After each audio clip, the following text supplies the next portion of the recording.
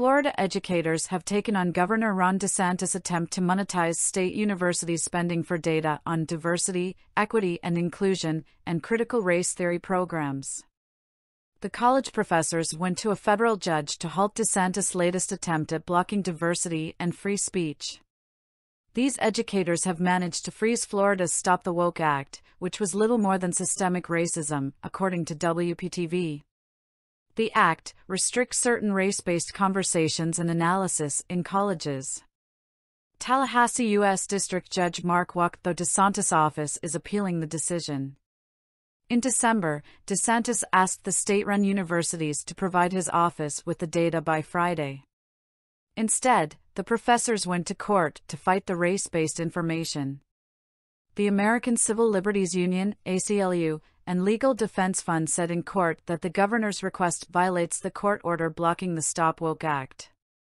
Staff attorney of the ACLU of Florida, Jerry Edwards, released a statement that read This is just another step towards enforcing this unconstitutional law and is clearly intended to continue to chill the speech of instructors and students in Florida. We cannot allow these threats against free speech to continue the law keeps education or business best practices from one ethnic population from manifest racism and the resulting feeling of guilt associated with the historical crimes against the ethnic group. DeSantis and the Republican dominated state legislature passed this law in 2022.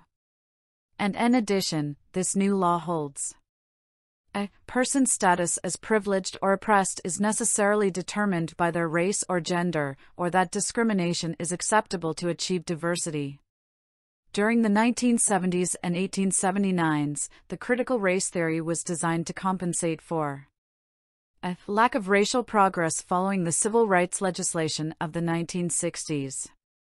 It centers on the idea that racism is systemic in the nation's institutions and that they function to maintain the dominance of white people in society. American conservative groups have rejected critical race theory out of hand because it failed to create a separation between racial groups. These conservatives also stated that it caused white people to believe they are at their roots racist against other Americans of color. ABC News reported that Governor DeSantis said when he signed the bill, no one should be instructed to feel as if they are not equal or shamed because of their race. In Florida, we will not let the far left woke agenda take over our schools and workplaces. There is no place for indoctrination or discrimination in Florida.